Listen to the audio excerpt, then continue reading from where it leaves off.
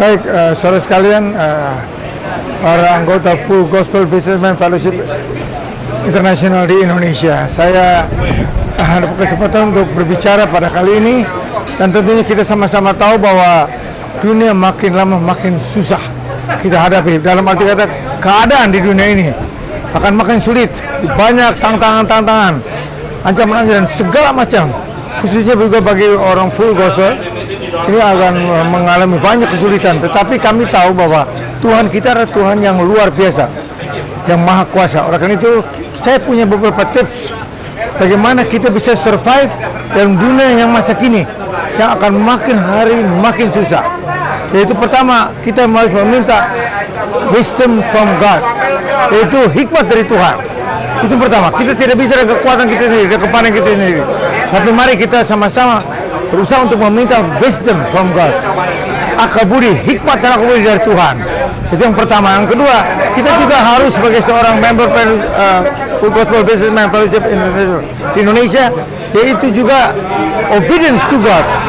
Jadi taat kepada Tuhan. Karena ada Bible atau Alkitab adalah pedoman kita.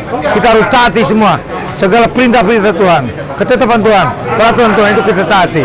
Itu obedience to God. Kemudian berikutnya adalah reliance on God. Kita hanya berharap pada Tuhan. Mengandalkan Tuhan saja, jangan mengandalkan kehebatan kita, jangan jangan mengandalkan manusia, tapi mengandalkan Tuhan. nah, kemudian setelah kita mengandalkan Tuhan, ya tentunya berikut adalah kita harus memiliki love of God, yaitu kasih dari Tuhan.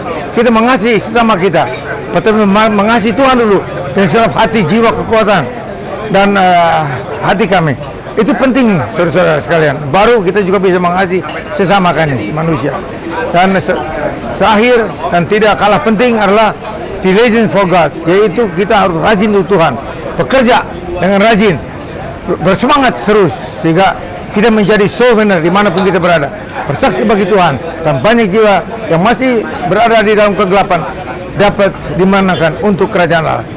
Inilah yang penting buat kita semua. Jadi kalau kita lihat itu wisdom from God, obedience to God, ya, reliance on God, love of God, dan diligence from God itu adalah kata dari gold yaitu dunia.